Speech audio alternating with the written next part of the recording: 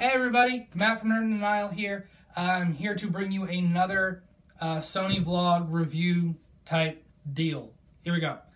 I'm going to do a full spoiler review of God of Boy, Dad of Boy, God of War, whatever the hell you want to call it. it goes by many names. Uh, I waited a little bit because of Infinity War, and I wanted to get a full like experience from this game, especially since it's my first God of War game. So after two full playthroughs, that story mode done, nine Valkyries defeated. Now I'm not a completionist, so I haven't gotten all the collectibles and everything, but because I just don't care. But after two playthroughs, and I haven't played on Gimme God of War, I don't have that type of rage management to deal with it.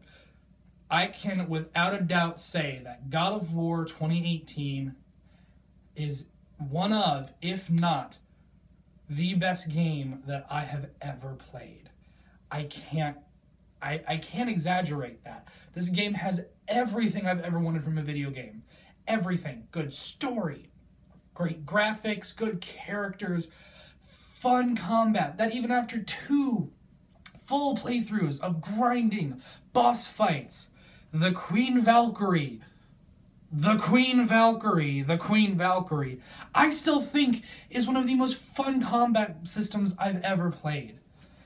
And I, yes, this is my first God of War game, and I know that some people are kind of iffy about that because I don't have the same investment in Kratos.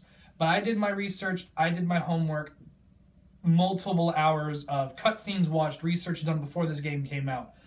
So I am completely familiar with the characters, references, and everything, especially when the Blades of Chaos get introduced into the game. It still gave me goosebumps. And this is my first God of War game and it gave me goosebumps.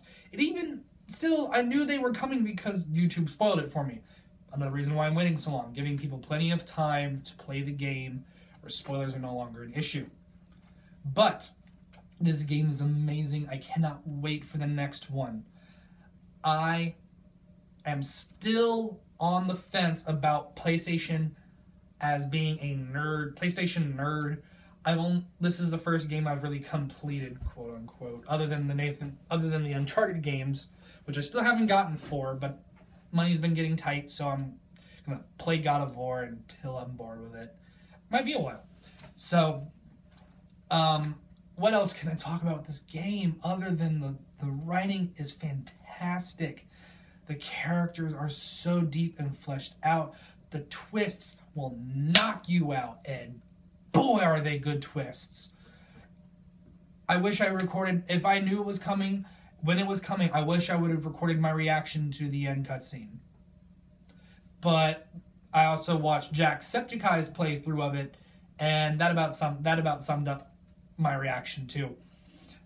Um, if you haven't gotten this, I highly recommend it, even if you're not someone who's played God of War, because like I haven't.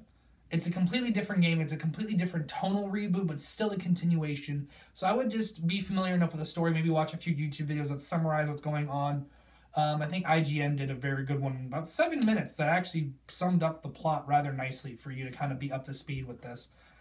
Um, Mimir was my favorite character. I actually have a friend at work who came, who's also playing. He came in and said, "You are Mimir." He said that to me because within three minutes, Mimir just goes, "Fair enough," and you say that all the time. From the moment he said that, I went, "Oh look, Matt's in God of War," and I thought that was hysterical. Buy this game if you are in, if you are a Sony person and if you like these types of games. If you're not, I get that, but buy this game. It is so good. Game of the year, and it's May, April when it came out. I would this would absolutely be my game of the year, and it's a PlayStation exclusive. Never said that before in my entire life. Never said a PlayStation exclusive game should be game of the year, but this has earned it in this and then some. I believe the developers have been working on this for five years easy, and you can tell a lot of thought, dedication, and just passion was put into this game. I can't say it enough. This game is amazing. This game deserves every good review it gets. And please let me know what you think of the new God of War in the comments section below. Um, what game should I play next on my Sony journey? It's been a, it's been a fun journey thus far, and I can't wait for the next leg. As always, like, subscribe, uh, share us, let us know what you want uh, what you want me to play next, what we should be reviewing. We still do video games, anime, and uh, superhero movies because I still love my superheroes. But as always, this has been Matt with Nerd In Denial. I will see you guys next time. Bye, everybody. Bye.